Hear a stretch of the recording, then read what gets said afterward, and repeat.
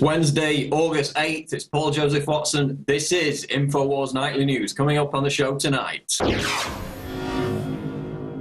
Tonight, a gun owner saves a cop's life by shooting a deranged man in early Texas.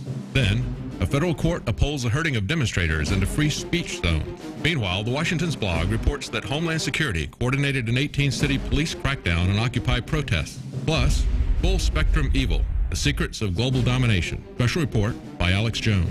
And Rob Dew talks to Liz Reitzig of RawMilkFreedomRiders.com. That's up next on the InfoWars Nightly News.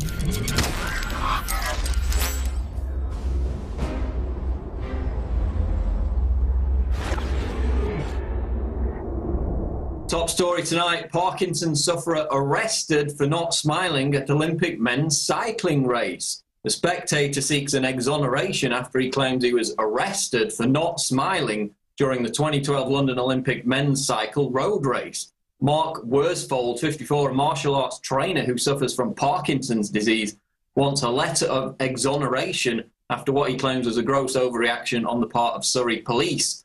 Worsfold explains, I was sitting minding my own business before I knew anything. The police grabbed me off this seven foot wall, threw me to the floor, and cuffed me so all I saw the cycle race was between the feet of the people from the pavement. And basically, this guy's got Parkinson's disease. He's, his face is expressionless. He can't have an expression on his face. And according to The Guardian, Worsfold says Surrey police, quote, questioned him about his demeanour and why he had not been seen to be visibly enjoying the event. They arrested him on charges of breach of the peace, saying Worsfold's behaviour, quote, caused concern. So there you have it. I mean, you know, we pour ridicule and scorn on Stalinist North Korea for arresting people who don't display the proper level of public grief. You know, in the aftermath of the death of Kim Jong il, they cart them off to concentration camps if they don't cry correctly. And yet we've got almost the same thing now happening in Britain. This guy who physically cannot smile because he's got Parkinson's disease is sitting watching a cycle race, and the cops arrest him for not visibly enjoying the event. I mean, that it was an actual breach of the peace. They said he was actually protesting because he wasn't smiling, you know, like a smiley face slave throughout the event. And it's par for the course because this Olympic Games in London has been used um, to hijack a sporting event and basically turn it into a huge pageant and worship of the state. And you know, there's Union Jacks everywhere, there's St. George's Cross flags everywhere, because the people have been permitted, they've been authorized by the government to fly them. You know, so long as it's worshipping the state, worshipping the royal family, if you fly those same flags outside of the authorized, permitted time period where the government says it's okay, then you can be branded a racist. There's actual cases in Britain where people have flown the St. George's Cross flag uh, and been ordered by their local councils to take it down because the flag was deemed offensive to minorities. So now it's official. If, if you don't exhibit the behavior of a slave who's lost the ability to think for himself and hasn't been completely brainwashed in this pageant worship of the state called the Olympic Games, with all its um, attendant Nazi like rituals, you know, carrying the flame through the towns and all that, as we've spoken about before you know, if you don't fawn over people who throw big sticks and jumping into sand pits and ride bicycles, then you will be targeted by the thought police. Man arrested for not smiling during the Olympic, Games. Can it get any crazier and more North Korea like than that? Here's another crazy story. Abortionist sees aborting ugly black babies as a service to the taxpayers. Now, they got this video of a pro life Christian group confronting an abortion doctor. The doctor says his abortions save taxpayers money, prevent shootings like the one in Colorado, and rid the world of ugly black babies. So let's go to the clip. Okay, you get it? You would rather profit off of those children? No, no, no, I'm not profiting. I, as a taxpayer, do not wish to pay for those babies to be oh, born oh, and brought up and kill we those do. people in Colorado. Go ahead and pay for we that. Do. Let me see you adopt one of those yes, ugly black babies, okay? We do, we do, we do. If you tell us, we'll adopt them. Yeah, go ahead. Adopt those babies, okay? Take them off the taxpayers' money, okay? Give us a chance to adopt them. So there you have it. Basically, they confront the abortionist, and he says, "Why do you want all these ugly black black babies? Taxpayers just going to have to pay for them anyway." And then, of course, they all go on to commit mass shootings like the one in Colorado. Makes perfect sense, right? Well, it goes right to the heart of um, what we've discussed many times, which is what abortion is all about at its foundational level, which is modern day eugenics and racism. Of course, you can trace it back to Marie Stopes, and even before that, Marie Stopes was this uh, big women's rights activist who is celebrated in Britain. They put a face on the stamps and everything. And she was the person who helped open the uh, first abortion clinics in Britain back in the 1920s. And by the 1930s, she kept herself busy by writing love letters to Adolf Hitler uh, while advocating uh, compulsory sterilization of non whites and other people with, quote, bad character. This is the woman that's the big denizen of the uh, women's rights movement in Britain. And now her charity, Marie Stopes International, uh, advertises in women's magazines through these public relations articles, encouraging women under 30 years old to be sterilized so they can't have kids. And all the women read this, and it's all very trendy now to get sterilized before the age of 30. Um, and basically, she, while she was busy writing love letters to Hitler and saying how great his population control policies were, uh, she was setting up all these abortion clinics in poor areas of Britain.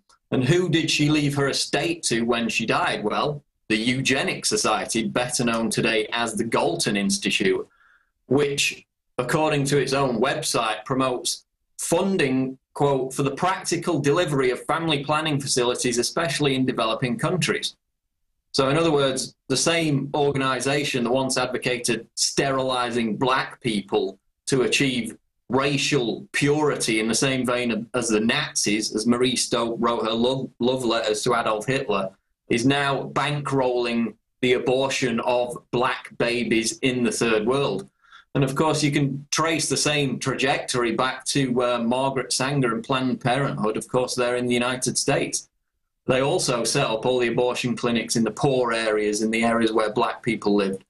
Um, and Sanger was on record as a racist to advocate the sterilization of black people. And of course, she was also part of the Galton Institute, formerly the Eugenics Society. So, no surprise that modern day abortionists now cite the um, necessity to get rid of, quote, ugly black babies as part of their job, because that's the bottom line about abortion. It has its roots in racism, in the elite's war against the poor, which makes it all the more ironic that today abortion is supported by the uh, loving, liberal, trendy left who accuse everyone else of being racist um, while upholding something that has its very foundations in racism. Moving on to global news now. Russian general denies reports he was killed by FSA. Russian General Vladimir Petrovich denied reports he was killed by Syrian rebels on Wednesday, Quote, I wish to confirm that I am live and well, he told reporters in Moscow. He did not mention when he last visit, visited Damascus. Quote, my phone hasn't stopped ringing all day, he told Russia's Interfax news agency.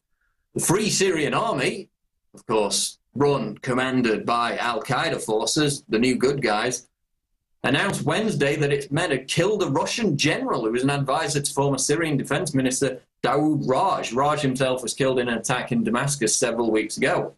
And once again, you've got to hand it to the London Guardian because, of course, after that glowing article last week in which they celebrated and praised the fact that Al Qaeda is now running the rebels, you know, training them to make bombs, meeting with the FSA, quote, every day. Well, today, the Guardian had a headline which read something like, you know, Syrian rebels kill Russian general.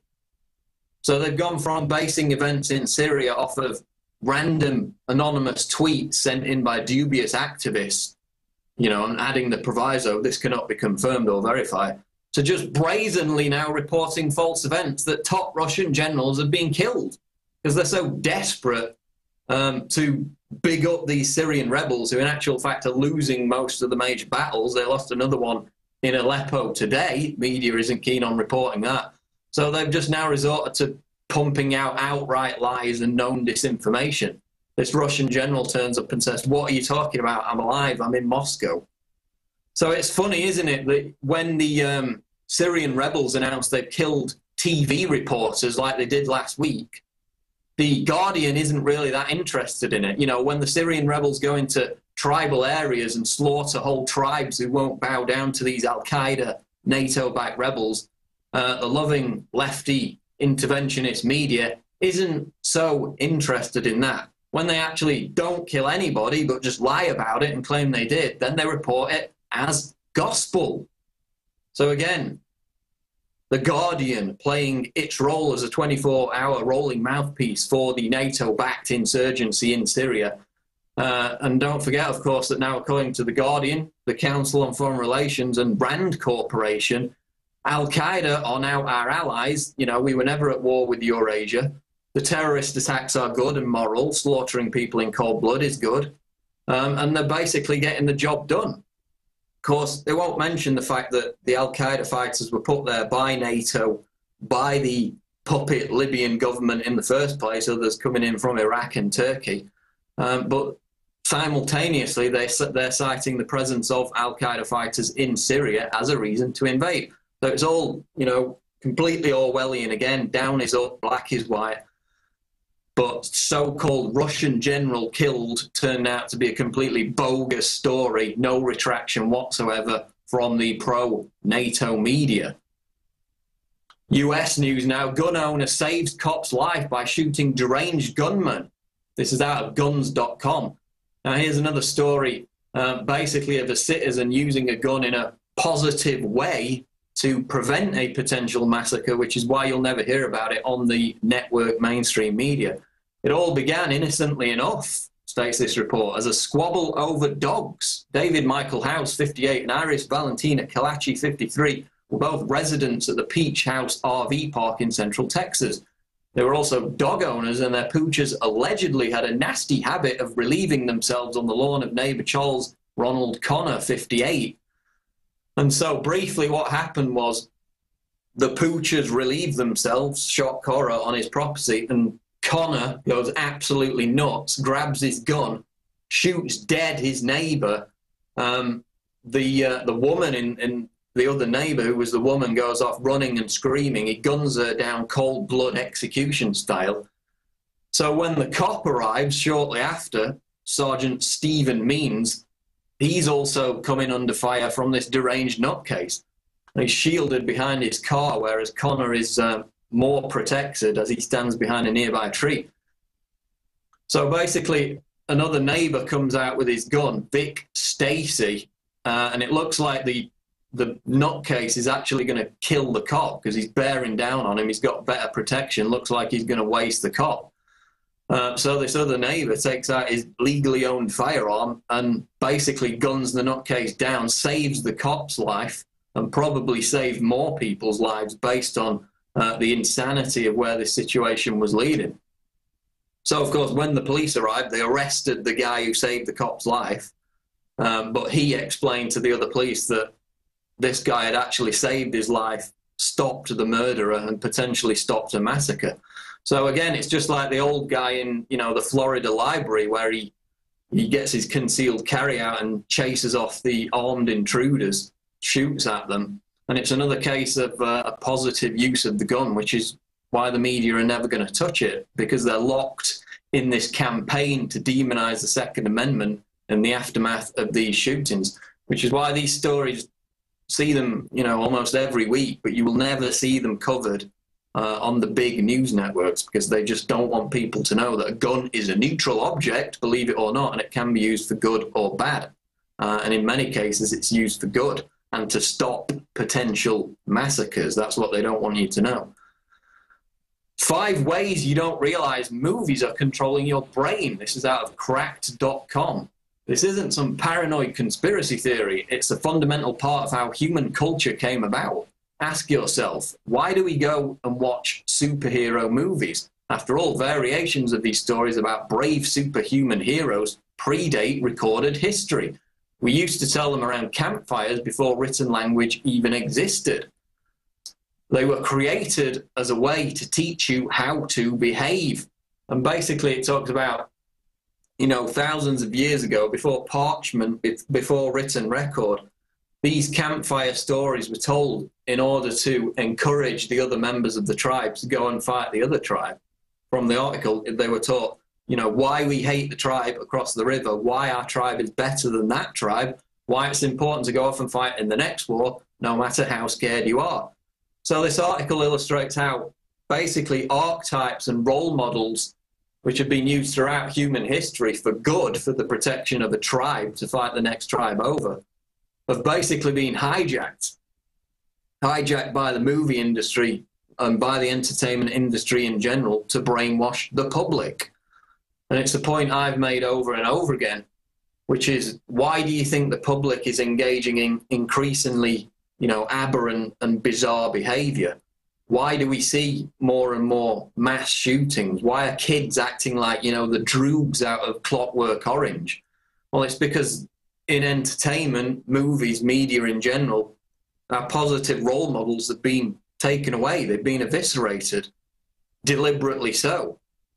And on top of that, it's it's now common knowledge that to borrow all that military equipment to make an action movie like you know Transformers or something with lots of explosions, lots of military vehicles in it, you don't only need the consent of the Pentagon, the military industrial complex, to make that movie. You need to give them a role in actually writing the script. This is all admitted now. It's not a conspiracy theory. So that's why you see every major action movie is pro US military, it's pro intervention, pro invasion, pro war.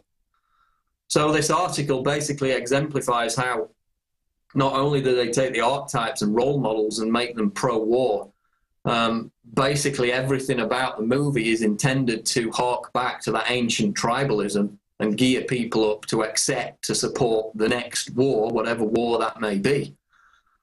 And they give another example of how um, these movies are not only used to brainwash people to change their thought patterns, but their actual behavior. Consider this after Jaws hit theaters, we nearly drove sharks to extinction with feverish hunting to the point that their populations may never recover. Every single person who saw that movie knew that it was fiction, knew the characters were just actors, but in real life, they knew there isn't a shark big enough to eat your boat. When the genius science character in the movie agreed that killing the shark was the only way to prevent dead tourists, we assumed that part was true.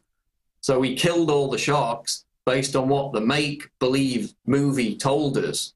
So they're basically making the point that, and there's other examples in there, these movies not only shape patterns of thought, they not only brainwash people into supporting modern day tribalism, the hijacked version of it, which of course is war, but they also actually directly uh, alter and shape people's behavior. So I urge you to read that. Five ways you don't realize movies are controlling your brain at crack.com. Very interesting article. Now, Kurt Haskell, this is Kurt Nimmo out of Infowars.com. Kurt Haskell wins House of Representatives primary in Michigan. Michigan attorney Kurt Haskell has beaten his opponent in the August 7th primary for a seat in the House of Representatives. Haskell defeated fellow Democrat Ruben Marquez and will face Republican Tim Walberg in November. Walberg is the current representative for Michigan's 7th congressional district. And of course, as you know from his many appearances on the Alex Jones show and InfoWars Nightly News, Kurt Haskell was the eyewitness who blew the lid off the staged underwear bomber case, where, of course, he tried to, um, or he was set up as a patsy to smuggle the underwear bomb on the plane. Uh, Haskell saw him being helped on the plane, despite the fact he had no passport, by a well dressed man uh, and of course all the other inconsistencies with that story that we've exposed at length. So basically, just a bit of good news. I mean, this is a guy that's he's had his battles with the system. He's been they've tried to silence him at every turn, but he's got back onto the field and now he's starting to kick some butt. He's beaten his Democratic opponent in the primary, and now he's going on uh, to have a shot at becoming a congressman uh, if he defeats this Republican. So basically, all of us here at Infowars.com wish Kurt Haskell the best of luck in defeating his opponent because, of course, he will be become hopefully one of the precious few moral and upstanding members of Congress. So exciting and positive news there with Kurt Haskell potentially uh, becoming a congressman.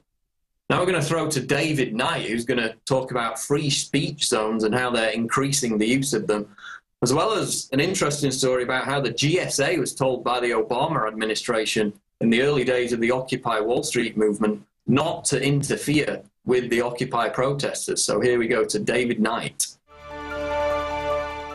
Thank you, Paul. This is David Knight reporting for InfoWars.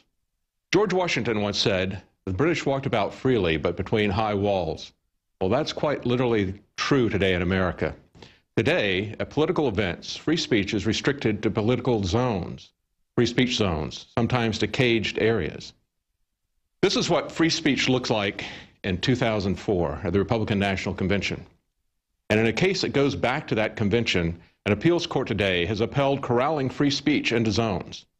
A federal appeals court has upheld the creation of no demonstration zones which prohibit free speech in certain public areas.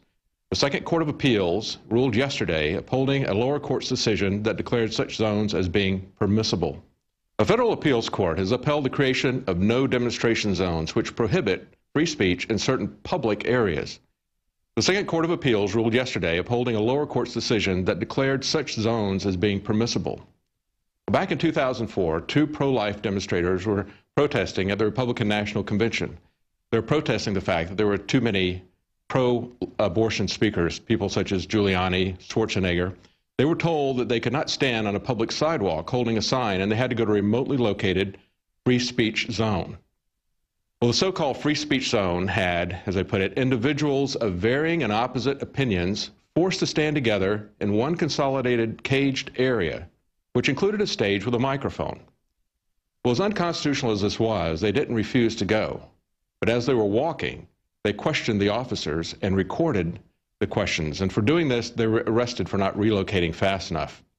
They said they took us to an abandoned warehouse where they funneled hundreds of people into cages that they had set up for this purpose. They treated us like cattle. Well, they treated them like cattle because they think of them as cattle. They don't think of them as American citizens with recognized rights. At no time did these defendants have their case heard by a jury. Their lawsuit was thrown out by a single judge and the appeal was heard by a three judge panel who sided with the government. No surprise there. The New York Civil Liberties Union has another case relating to the same events, but not to these, these particular abortion protesters. And Christopher Dunn says that that case should not be affected by uh, this recent ruling for the two abortion protesters. This decision involving two anti abortion protesters has no bearing on the major convention litigation now pending in federal district court said Christopher Dunn, Associate Legal Director for the New York Civil Liberties Union. In that litigation, the New York Civil, Civil Liberties Union is challenging mass arrests, detentions at Pier 57, and the blanket fingerprinting of protesters. Get that, blanket fingerprinting of protesters. The appeals case decided yesterday has nothing to do with any of these issues. Well, things are going to get more dangerous for citizens who want to exercise their free speech at this year's convention because earlier this year, Congress passed the Federal Restricted Buildings and Grounds Improvement Act. Well, what exactly does that improve? Well, it just improves the chances that our leaders can now do whatever they wish without anyone complaining about it. Because if you protest an event where the Secret Service is guarding someone, it is now a federal crime. This new law permits Secret Service agents to designate any place they wish as a place where free speech association, petition of the government are prohibited. It permits the Secret Service to make these determinations based on the content of the speech. That's right. If they don't like what you're saying, they can deny you the right to say it. Cheering crowds are fine, but if the Secret Service arbitrarily doesn't like what you're doing, it's a federal crime. And as we saw yesterday, the Obama White House has already told GSA to step down on Occupy protesters. So if the government finds what you're saying is useful to their agenda, they tell enforcement to step down. But if they don't like what you're saying, they use the full force of unconstitutional laws against you. So our quote for the day is the First Amendment itself. Congress shall make no law respecting an establishment of religion, or prohibiting the free exercise thereof, or abridging the freedom of speech or of the press, or the right of the people peaceably to assemble and to petition the government for redress of grievances I get that again. Congress shall make no law abridging the freedom of speech or the right of the people to peaceably assemble. This is David Knight reporting for InfoWars Nightly News. Back to you, Paul. Thanks, David. Now we're going to go to a clip, a video we put together earlier today. We really want this to go viral. It's entitled Full Spectrum Evil Secrets of Global Domination. And in this video, Alex Jones uh, uses the games of chess, Monopoly, and Risk uh, to illustrate and explain the classic modes of control used by our rulers and how they use these different techniques to enslave us. So let's go to the clip.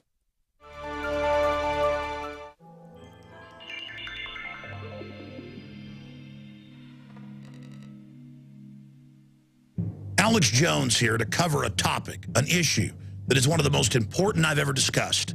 This information is very closely held by governments and elite corporations. They do not want you understanding this.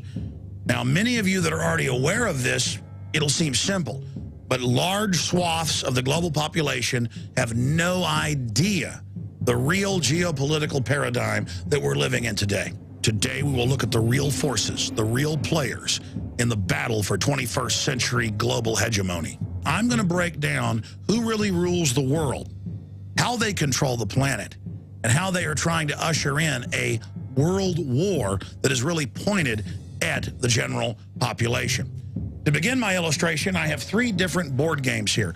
Chess, the classic game of Risk, as well as Monopoly. And we're going to look at these systems of stylized warfare. And between these three systems, we find the truth of the system that we're living under. How do we know that system? Well, books written by people like Carroll Quigley at Georgetown, Bill Clinton's mentor. They think we're stupid, and so we have their own documents. To begin with, I'm going to use a Lego chess set as a illustration to break down primitive forms of government warfare, and domination. If you look at this set, you notice there are two sides. There is the red and there is the green, or there is the black, there is the white. From the beginnings of civilization more than 6,000 years ago until about 1700, this was the model of warfare between nations. There were occasional alliances, but by and large, warfare and politics was carried out in a very two-dimensional way, like a chess set. You have the ruling class, the royalty, the priest class, the military elite, the generals, and in front of them you have basically their conscripts or the lower class fighters who can also represent just the general population. And these two groups are engaged in warfare and base domination against each other to control larger areas of land and the vassal populations living in serfdom upon it. One area that we see from the ancient chess model that is still used in statecraft by the globalist is the fact that sometimes wars were launched, in the case of the French and the British, against each other when they had rebellions at home. They soon learned it was a way to turn inner anger at the state against a foreign state and to reduce the population of young males that you didn't have jobs for. The two-sided fight is a bygone era. In truth, for more than 300 years, the globalists have been financing multiple sides of wars, knowing that conflict destroys nations and gets countries deep into debt. And that is the key. They're financing both sides. And we see this being pioneered by people like the Rothschilds, starting in the 17 and 1800s, where they would finance sometimes three or four different factions, and it didn't matter who won because all of them were in debt to them and had societies that were wrecked after the wars. Next, let's look at the game of risk. These are primitive attempts to distill down human conflict and domination into a game you can play in a few hours. The militaries all have basically equal resources, equal numbers of troops, and to enter into the equation some type of random probability, we have dice and we have cards. There is no discussion here on looking at the real model that we are under today. We're going to come back to risk here in a moment, but first let's move to the game of Monopoly.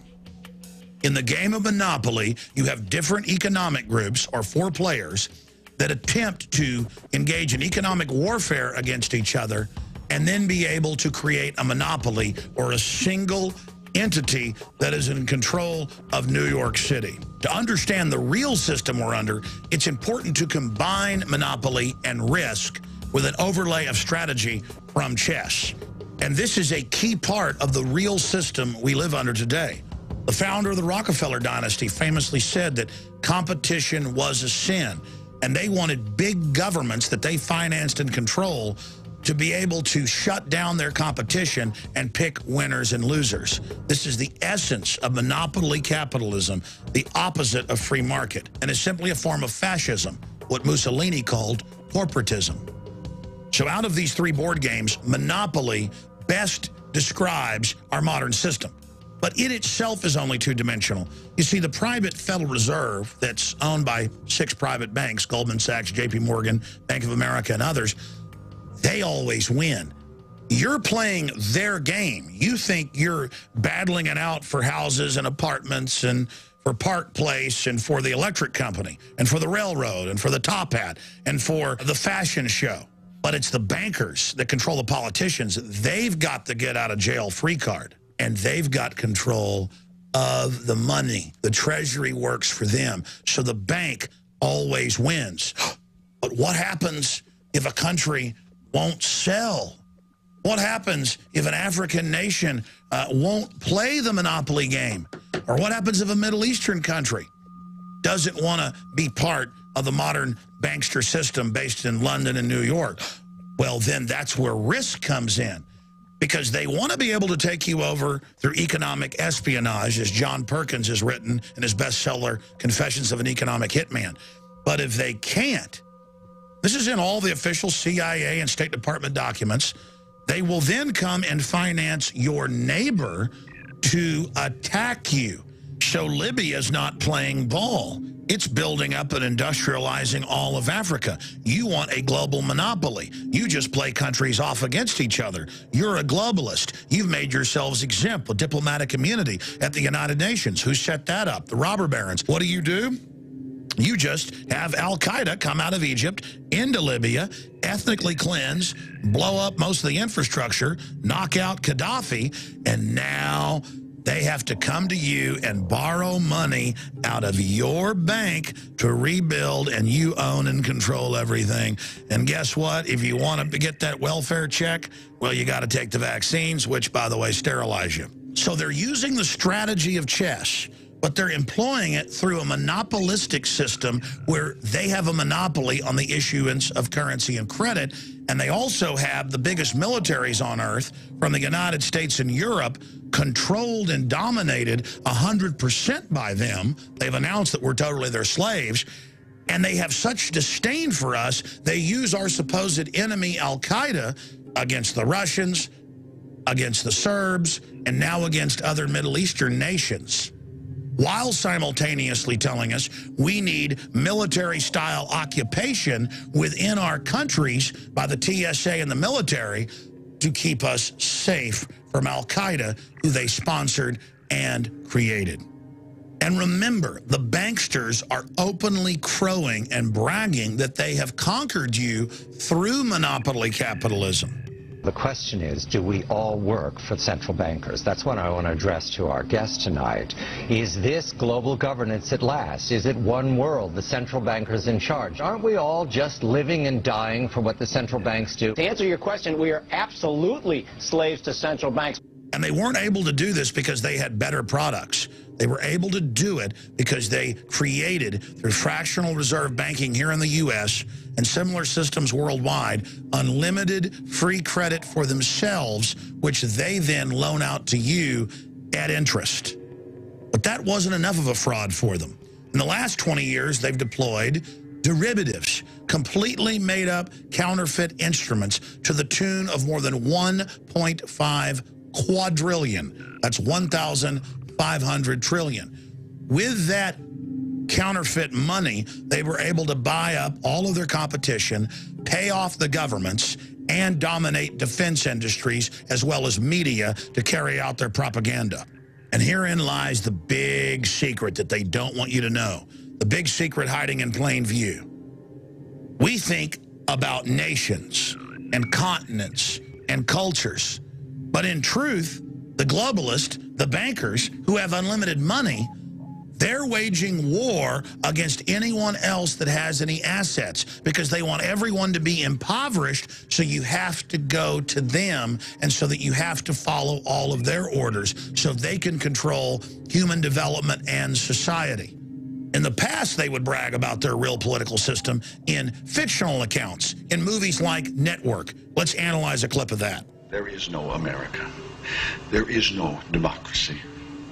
There is only IBM and ITT and AT&T and DuPont, Dow, Union Carbide, and Exxon. One vast and ecumenical holding company for whom all men will work to serve a common profit, in which all men will hold a share of stock. Oh, there are no more peoples. There are no more nations, Mr. Beale. Each one of us has one piece of stock in the global system, one ecumenical giant global government. Except one thing, that big global corporate system they've been selling us on doesn't want us to even be alive. It's designed to consolidate control and then slowly cut off the resources while the banksters themselves pose as the saviors, selling people on getting deeper into the tyranny and the pain will stop. When at the end of the tunnel is nothing but global extermination and eugenics so that these selfish, greedy scam artists can have the world and all of the incredible technology and life extension for themselves. And that's the big secret here. You have been warned. I'm Alex Jones signing off for Infowars.com. The ball is in your court. The rest is up to you. Please get this presentation out to everyone you know. We've got to understand the enemy we're facing if we have any chance of defeating these people. Humanity hangs in the balance.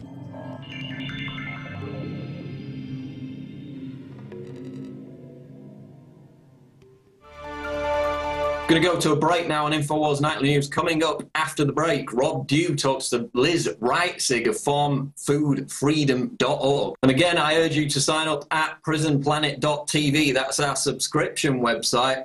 You get to see this show first at PrisonPlanet.tv. You get access to, the, to all the archives. It's been going since 2004, so there's just a ton of multimedia content on there, a lot of which is not on YouTube and it's all in one place. Every Alex Jones film features special events, audio archives, video archives, and it, what it's what funds this network. We couldn't do it without your support at prisonplanet.tv. You can still get the 15-day free trial, and of course, our other new uh, offensive in the info war is planetinfowars.com. That's the social network uh, which is taking the web by storm. Tens of thousands of members already. You can host your own blog. You can arrange activist events, meet people in your area, get together with like minded people. There's a dating section as well. You can host your own blog. And it's all free. And it's all at planetinfowars.com. Sign up today. Stay tuned.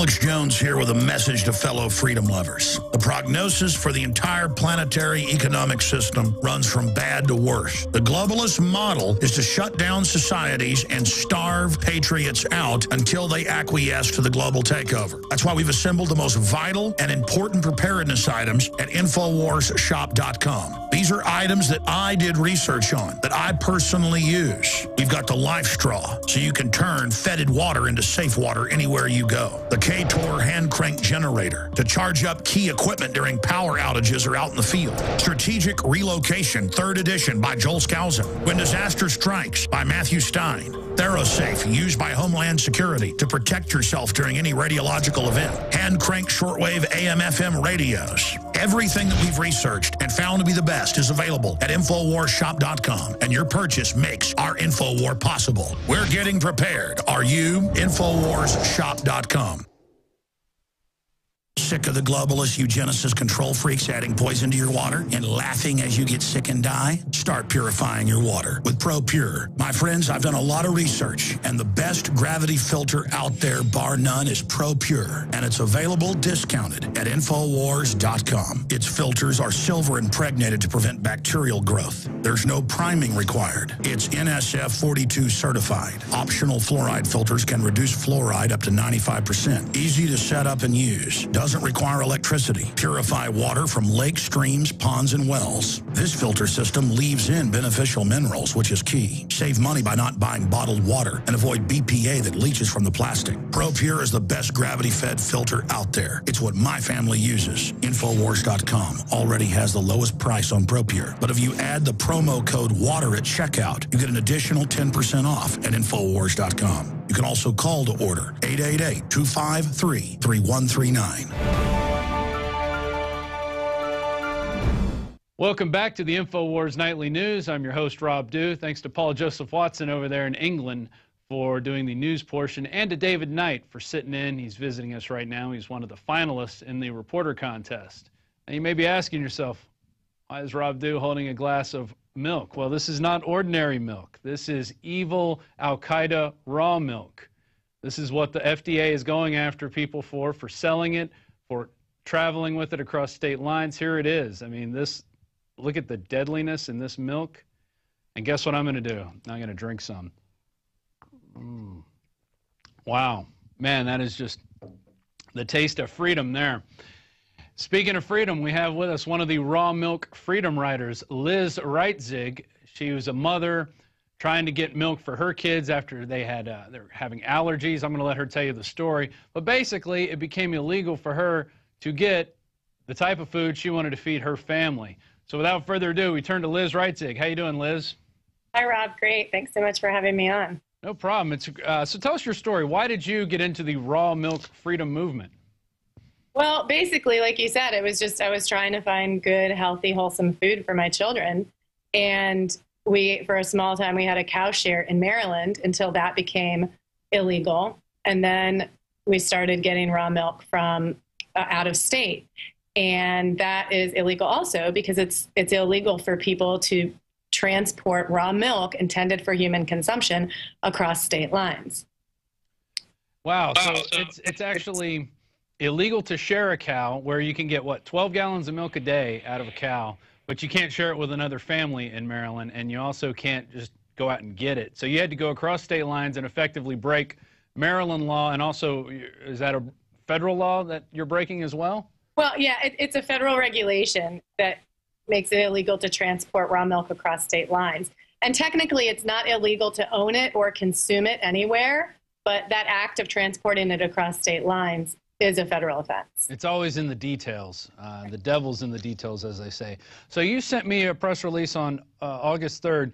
Mothers to risk jail over lemonade or milk. Farmers, others criminalized for feeding communities. And you guys are going to hold an event later on this month in D.C. Why don't you tell us all about it? Okay, it's it's an event. It's two groups coming together: Lemonade Freedom Day and the Raw Milk Freedom Riders, and we're really coming together to celebrate our Freedom for Voluntary Exchange. So we're getting together on the lawn of the Capitol Reflecting Pool, and we're just going to engage in peaceful, voluntary exchange for the foods of our choice. This is a very simple, very clear event, and our message is simply that if the regulations interfere with the voluntary exchange, we will not comply. I like that. We will not comply with these people who think they can step all over us and tell us what to do, tell us what to think, tell us how to act, tell us where we can have our free speech. That was another story we covered tonight, and how now the federal courts are upholding free speech zones, which is a total travesty. And, and you guys are voluntary exchange. We want to have the ability anytime we want, if we if I want to give somebody something and somebody wants to take it, that's okay. You know, right. Especially milk. Here and here it is once again, the milk. So, uh, how many people are you expecting at this event? Well, um, several hundred. Well, Lots we need to get more than that. We need several thousand. That would be wonderful. And, and, where can people find out information about this event? Well, they can go to rawmilkfreedomriders.com or lemonadefreedom.com. Right. And and the Lemonade Freedom, I guess you guys banded with the group who was they were selling lemonade for 10 cents a glass on the lawn. They were arrested uh, viciously by the cops. And uh, also, it reminds me of another event where uh, Adam Kokesh led a group of people who were silent dancing at the Jefferson Memorial, another outlawed event at our nation's capital, a place that we built with our tax money. Right, and that was actually organized by Eddie Free, and he also organized the lemonade stand on the lawn of the Capitol last year, and he is a big part of this event as well.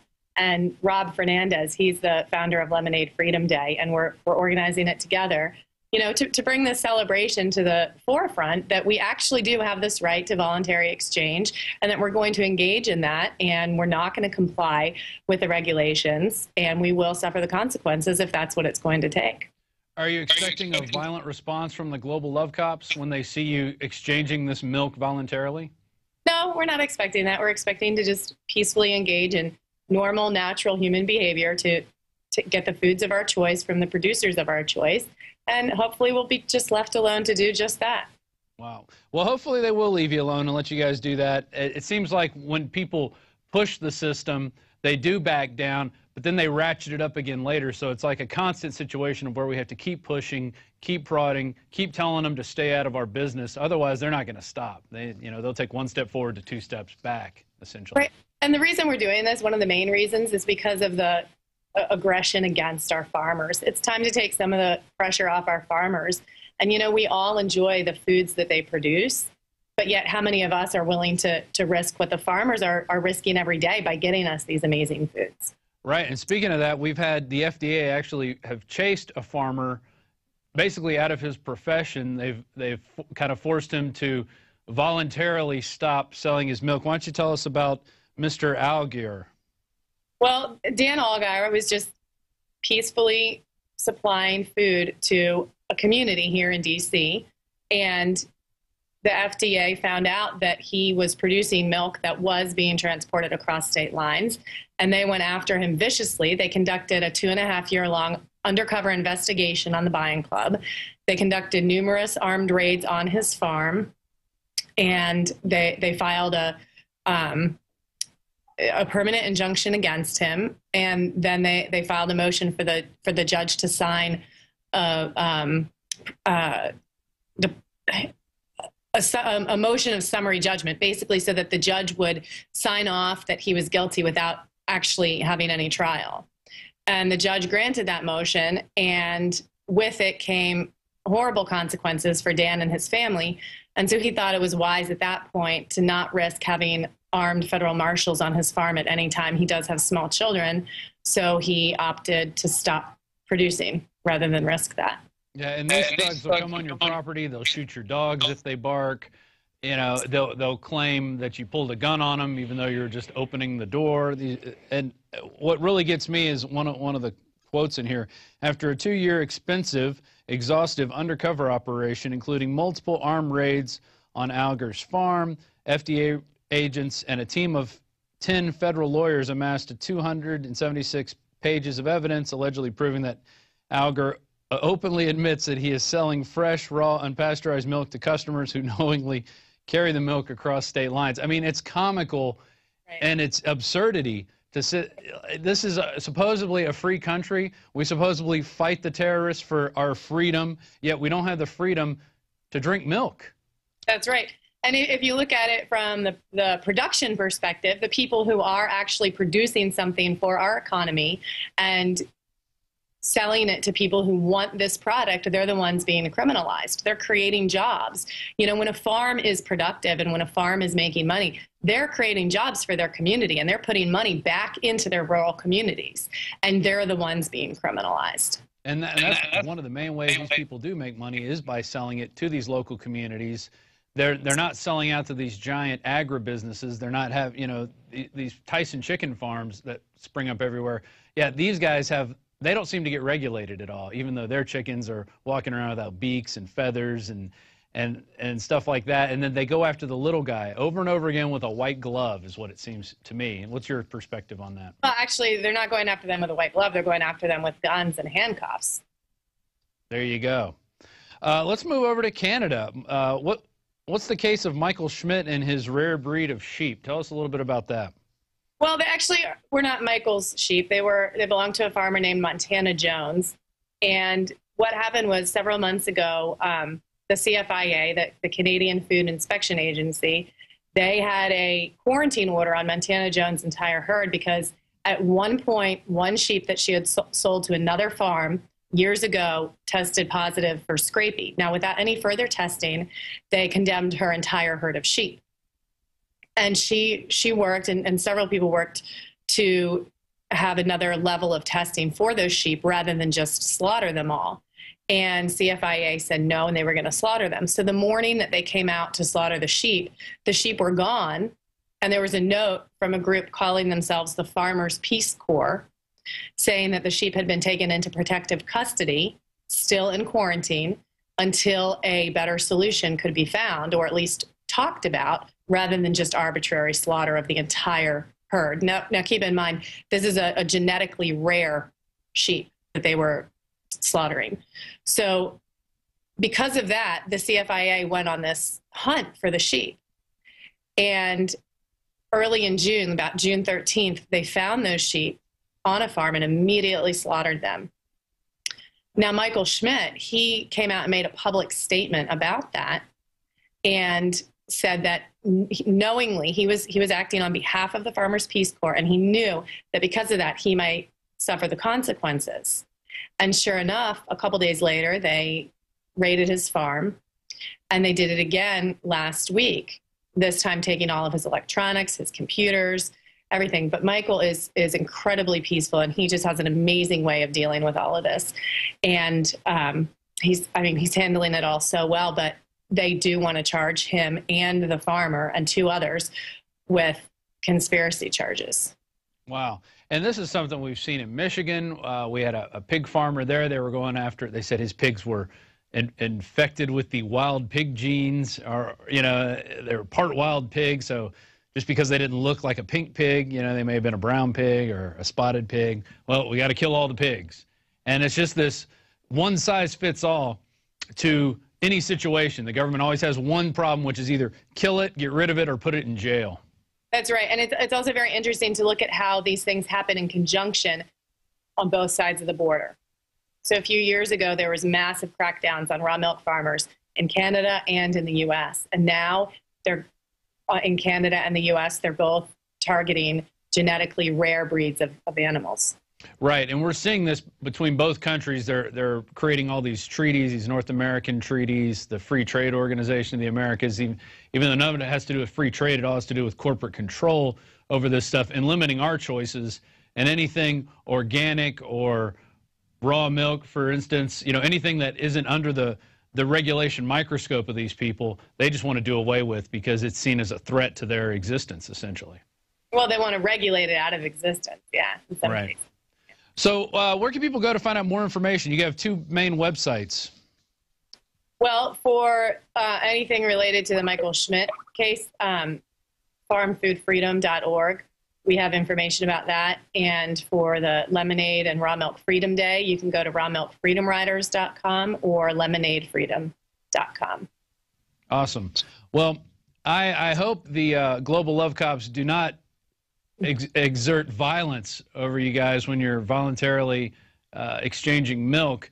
If they do, though, please have plenty of video cameras there to catch it on tape because uh, everybody out there in YouTube land, you know, we need more evidence. If it, as if there isn't enough evidence, we need more evidence that these people are tyrannical, you know, jerks essentially, and that we just have to keep pointing it out every step of the way as we reclaim our rights. We will be live streaming the day of the event. We will also be live streaming the rights workshop the evening before. And people are welcome to come and join us and watch us on live stream. It's on both of those websites I mentioned. Mm-hmm. And um, yeah, we'd love to have people involved in that. Oh, that's so, right. You're going to tell people about their rights? Yeah, we're having a rights workshop on Friday before the event and, and just a, a basic training course for people so they understand like a history of peaceful noncompliance and how to stand up for your rights and what to do in the case of conflict, how to how to maintain peace. Well, excellent. Positive positive change going out there for the people. Appreciate you coming on and tell us about it. Good luck with your event um, on it's August 17th and 18th, I believe. Is that right? That's correct. Thanks. All right. Well, you can check more out about it at uh, farmfoodfreedom.org or rawmilkfreedomriders.com. Thank you, Liz Reitzig. Thanks, Rob. You have a good day. You too. All right, and that is our show for today. I uh, finished my glass of milk, my evil Al Qaeda milk, while I was talking to Liz. It was great. I feel nourished. I feel healthy. And you know what I like about the raw milk is that they tell you the day it was pumped out of the cow or milked out of the cow. They, uh, which was in this case, it was August 3rd. Um, unlike the Milky you buy at the regular stores, which it tells you the date it's good until. And I like to know when my milk actually comes out of the cow. I appreciate that. I'm not making light of the things here by you know, drinking milk on camera and doing this stuff like that. Actually, we have a movie that really goes in depth to this problem. It's called Farmageddon. And if you haven't seen it, it is really an amazing movie. It's done by first time director Kristin Canty. And it explores, I'm just going to read the back here. Americans' right to access fresh, healthy foods of their choice is under attack. Farmageddon tells the story of small family farms that were providing safe, healthy foods to their communities and were forced to stop, sometimes through violent action uh, by agents of misguided government bureaucracies, and seeks to figure out why. This is a really good movie, and if you haven't seen it, you can get it at InfoWarsShop.com. You can go to our online store. It's another way to support us, and we really appreciate it. And we can always use the support. So check out Farmageddon at InfoWarsShop.com. That's our show for today. Thanks to Paul Joseph Watson and David Knight for both stepping up and doing the news portion. I'm Rob Dew. Don't forget, if you're not a member of PrisonPlanet.tv, it's the way we make this happen. Uh, this is it. PrisonPlanet.tv gets the reporters here. It pays for the cameras, pays for the lights, pays for the light bulbs. Uh, we got all kinds of stuff. You can watch the nightly news. You can watch the Daily Show. We have all of Alex's movies, uh, plus some other movies. Other people have given us permission to, to host on there. Both of Alex, uh, Alex's book and Paul Joseph Watson's books. Alex's rant section. Lots of stuff there. We have a 15-day free trial. If you're watching this on YouTube for free right now, please consider becoming a member. It really does support us, and we are not funded by George Soros or Time Warner or GE or any other military industrial complex out there. We are funded by you out there. So please consider becoming a member of PrisonPlanet.tv. And with that, that's our show. We'll see you again tomorrow. Keep fighting for freedom.